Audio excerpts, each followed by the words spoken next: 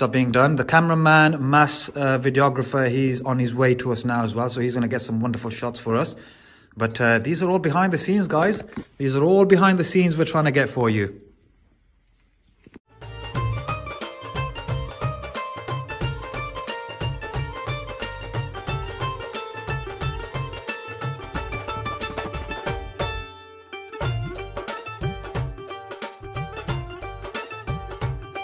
Right then, guys, I just want to give uh, a shout out to uh, the wonderful people that uh, you know decorated this uh, setup for BK's nikah. So basically, we're not doing the nikah here. We've got a venue that we've got to go to, but this is for the after party. So once the nikah and everything's done, all the family's going to come here and we're going to have a little after party. We're going to chill here and stuff. But uh, the setup you see right behind, we gave them literally very very short notice. You know, I just contacted them last night and I said, I know like it's only one one night you know to uh, sort this stuff out is there any possibility you can fly down and do us a nice little setup and you know what they've done it for us so hats off to them they were a wonderful team and uh, if you want to you know for your beautiful day if you want to uh, uh, you know get in touch with them get onto instagram they're called uh, mir mir underscore uh, events uh, underscore. So yeah, Mir underscore events underscore on Instagram. Check them out, you know, and they'll do a wonderful, wonderful setup for you. So big shout out to you guys.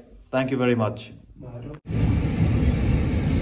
There we are, guys. Dula Sab is ready, and, and now yep. off. It's too hot right now. It's about 25, 26 degrees, and we're ready to. Uh, we're on the way to the way. venue, so we'll see you shortly.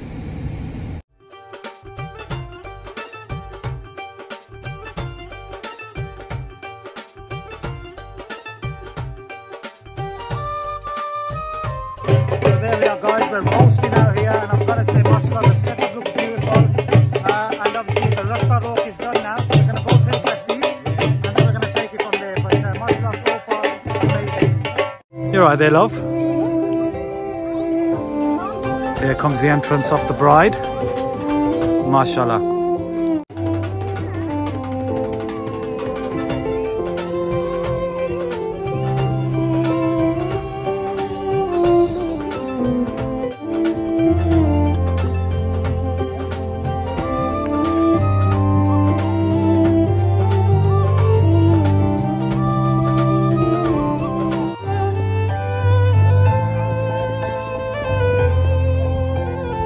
BK, good luck.